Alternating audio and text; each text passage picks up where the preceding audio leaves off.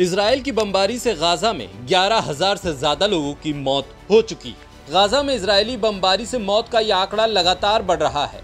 लाश के ढेर बढ़ते जा रहे हैं। इस बमबारी में मरने वाले लोगों में बच्चों की तादाद सबसे ज़्यादा है। लेकिन ये लाश का ढेर जहाँ एक तरफ़ दुनिया में लोगों की चिंता का मुद्दा बना हुआ है लोग इस जंग को रोकने में लगे हुए हैं। लेकिन इस दुनिया में कुछ लोग ऐसे भी हैं जिनको इस लाश के ढेर को देखने के बाद सुकून मिल रहा है। लाशों का ढेर हिंदुत्व के कथित रक्षकों के लिए सुकून का मुद्दा बना हुआ है। ये कट्टर पंथ के समर्थक इसराइल को सर्वशक्तिमान मान रहे हैं। अद्भुत शक्ति का मालिक मानकर दिन रात हवन और भजन कर रहे हैं। नेतन्याहू की लंबी उम्र की दुआ को राष्ट्रवाद बता रहे हैं। ऐसे ही कुछ इस्लामोफोबिया से ग्रसित झुंड पुणे की सड़क पर उतरकर नेतन्याहू के साथ जीने और मरने की कस्में खा रहे थे।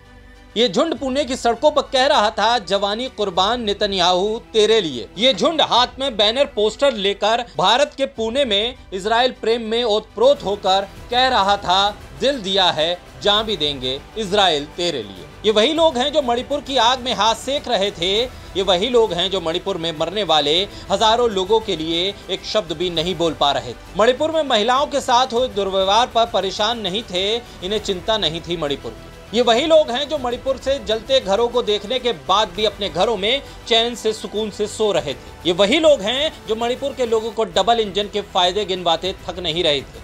ये वही लोग हैं जो न सिर्फ़ मणिपुर पर आँखों पर पर्दा डाल रहे थे, बल्कि महिला पहलवानों की दुर्दशा से लेकर बिल्किस बानो, दलितों के उत्पीड़न और मॉब लिंचिंग तक में सुरंग में छुपकर सो जा रहे थे और नींद से जाग नहीं रहे थे। लेकिन जैसे ही मामला मुसलमानों पर हमले का हुआ किसी मुसलमान मुल्क पर हमले का आया, वैसे ही ये नींद से जागने लगे। जैसे ही मस्जिद मदरसों को टारगेट किया जाने लगा, ये झुंड एक्टिव हो गया। इस झुंड में इस्लामोफोबिया का वायरस एक्टिव हो गया। एक्टिव वायरस अब इनसे रैलियाँ करवा रहा है और नारे लगवा रहा है। भारत को इंडिया बताते बताते अब ये पोस्टर पर भी लिखने लगे हैं कि भारत इसराइल के साथ जबकि भारत के प्रधानमंत्री कहते हैं कि वो फिलिस्तीन के पीड़ित लोगों के साथ फिलिस्तीन की गाजा पट्टी में इसराइल की कोशिश है कि वो नए घरों को बसाए, नई बस्तियों को बसाए। इसके खिलाफ जब यूएन में प्रस्ताव आया तो भारत ने, प्रधानमंत्री मोदी की सरकार ने इसराइल के खिलाफ वोट किया।